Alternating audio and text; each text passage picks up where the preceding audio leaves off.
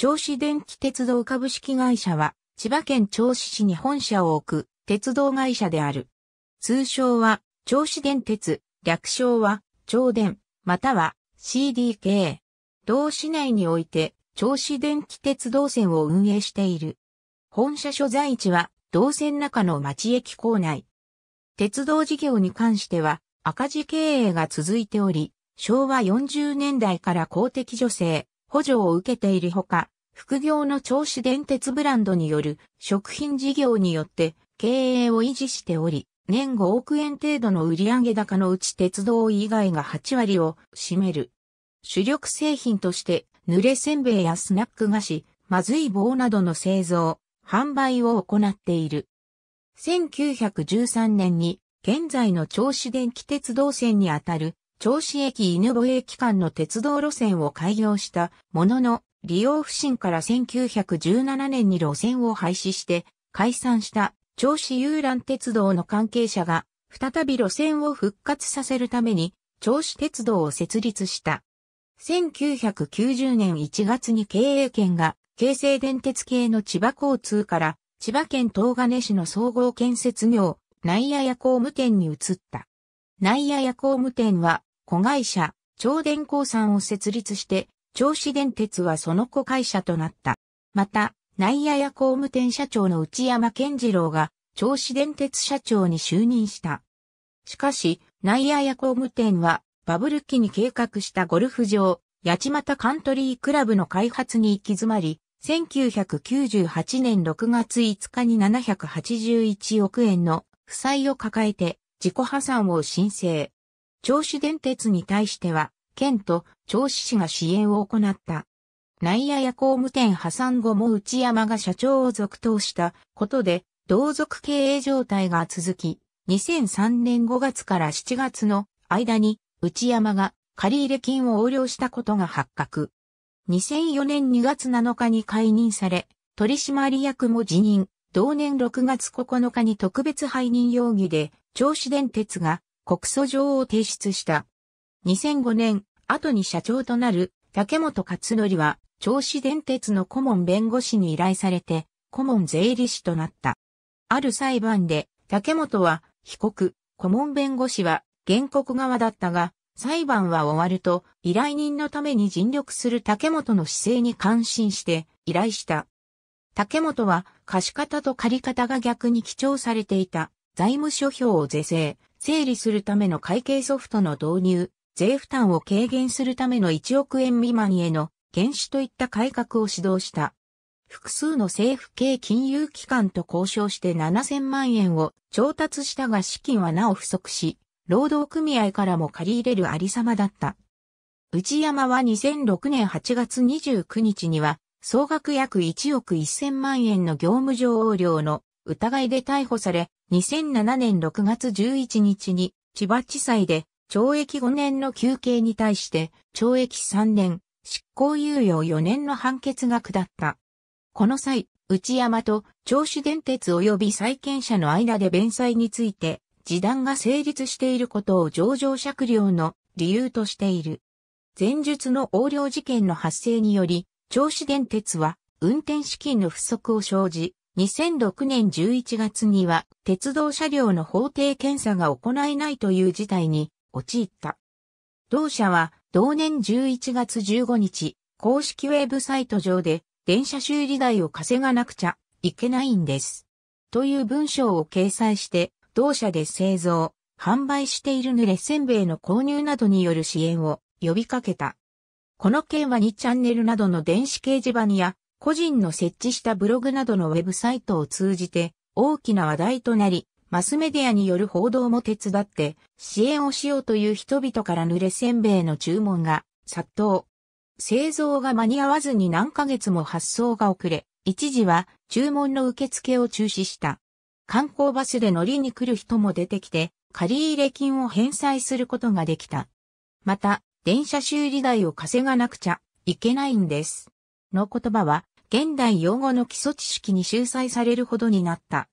この売り上げにより、車両検査の目途はついたが、問題はまだ残されており、特に鉄道設備の老朽化は、かなり深刻な状況にあった。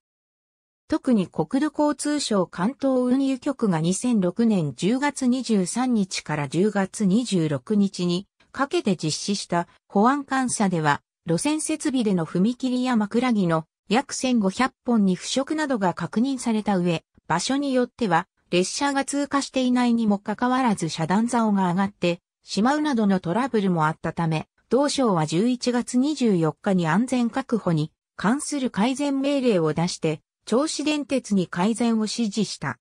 2007年1月14日、安全運行問題の解決を支援するため、有志が銚子電鉄サポーターズを設置。改善命令に基づいた枕木交換や踏切設備の改善に限定したサポート基金の募集を行った。同会の特別サポーターには報道でこの問題を知ったプロ野球選手の小林正秀が会員第1号としてつき、サポート基金への協力を呼びかけた。同年1月23日、銚子電鉄は2006年11月24日の命令に対し、今後の取り組みを記した報告書を提出。その後、枕木などの交換を行い、4月17日に、同対所と駅運営の運転教育による安全管理体制確立を内容とする改善措置、完了報告を提出した。ただし、同局は今後も引き続き指導していくとのコメントを発表している。2008年5月26日、銚子電鉄サポーターズは支援の成果を上げたとして休止を発表。同会には2008年3月31日までに4698名から入会金として約1658万円、運営費のカンパなども合計すると約1882万円が集まった。同会はこれらの収入から安全対策基金として2007年に970万円、2008年5月26日に540万円の計1510万円を寄贈、老朽化した踏切看板の交換費用として約100万円を支出したとしている。また、同会は電車や沿線の清掃活動や撮影会などのイベント開催なども言った。同会は今後も存続し、側面的な支援活動は継続するという。同月、濡れせんべいの通信販売も再開されている。しかし、2011年3月11日に発生した東北地方太平洋沖地震及びそれに伴う福島第一原子力発電所事故などによる風評被害を受け、観光客激減の煽りを受けた影響などから、車両や設備更新費用が捻出できないと判断。2012年12月に社長が小川文雄から社外取締役になっていた竹本勝則に交代した。竹本によれば、ある一部上場企業の会長を務める上司出身の資産家が自分のポケットマネーで一般財団法人を調子に作り1億5000万円のお金を用意して、要は、銚子電鉄を買い取る動きもあったという。当初、竹本はこの動きに同調する意向であった。しかし、この資金は新たに設立する、新、銚子電鉄のために使う資金であり、第二会社方式による再生スキームの実施を考えていたことが発覚。これがメインバンクの不況を買ったため、竹本は成功法での再建を目指すことを決意したという。だが現実は厳しく、2013年2月1日には、銚子電鉄は経営の自主再建を断念することを発表し、施設管理と運行の上下分離を図るなどをして、経営刷新を進めることを検討していたが、2013年12月30日には、当面10年間の車両、設備更新費用7億6千万円のうち国が1、3、千葉県、銚子市が、それぞれ1、6負担、残りを銚子電鉄の自助努力するスキームを決定、鑑定機関が受け入れに合意したことで、当面の配線機は回避された。この過程で、2013年に、銚子電鉄運行維持対策協議会が組織され、鉄道の損廃を議論した結果、銚子にとって必要という結論となった。